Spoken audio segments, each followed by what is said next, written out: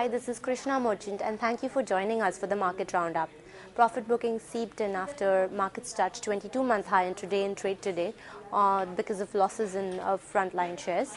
The Sensex was down 23 points at 19,387 and the Nifty declined 10 points at 5,899. Macro data was disappointing with trade deficit uh, inching slightly lower to about 19.3 billion in November from scaling to um, all-time high of 20.1 billion in October as uh, imports of oil and gold continue to remain high, said economists. IT shares were leading the losses. Uh, TCS and Infosys were down around 1% each. Uh, profit booking was seen in the BSE banking index, was, which had a decent run-up yesterday.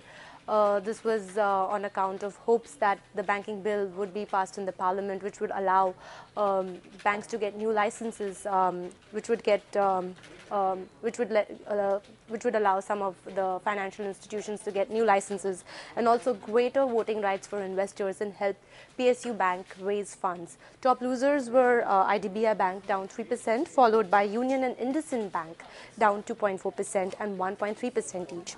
Top losers on the Sensex were RIL uh, and ONGC down around 1% each, and BHEL declined 2.6%. Major gainers were HDFC up 1.3%, followed by ITC and HUL up 0.8% and 2.1% each.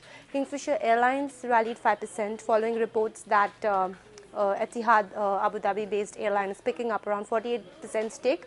However, later the airlines denied the news and said that they were looking for investors um, to uh, for a stake sale in the company. Also, Jet Airways was up uh, 4% following reports that it has entered a code sharing agreement with Etihad. That is all for today. Do stay tuned to livemint.com to get more updates.